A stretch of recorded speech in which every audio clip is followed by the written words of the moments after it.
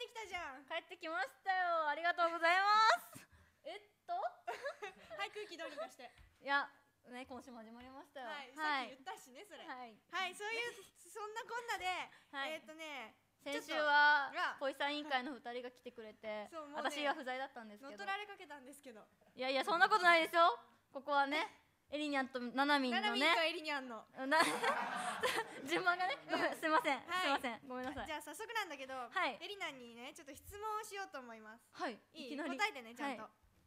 えーっとね通勤時間と通勤方法を変えられない私。そこで満員電車をマスターしたと言われている神谷さんに質問です。真夏の満員電車を快適に乗る方法を教えてください。18歳メイド喫茶勤務女性。えー、おいしくなーれさんからです。いやいやちょっと待って私満員電車いやいやいや。だって書いてあるじゃん。マスターしたって。マスターしてないしまず。どういうこと？でもまず電車乗れるの。電車？電車は乗れますよ、およかったよかった。ギリギリね。乗れて。え？ギリギリかよ。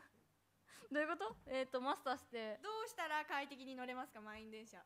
時間とか変えれないんだよね。うん。まあとりあえず隅っこに寄って。そういう陰キャラ系な発言？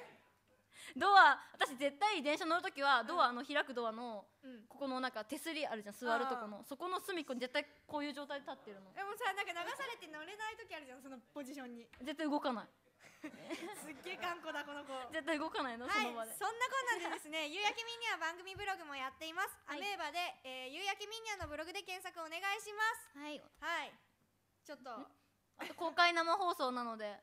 今聞いてた人の話聞いてましたよ。あと公開生放送なのでね、うん。この現場まで。そう現場まで。住所はななみんが分かってます、はい、住所は東京都墨田区成平4の16の6押上駅 B1 出口から徒歩2分でございます。はい。はい。皆さんぜひ来てくださいね。月9なのでね。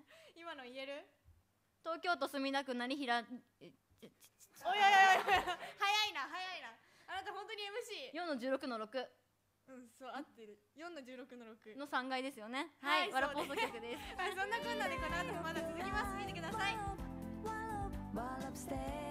shine.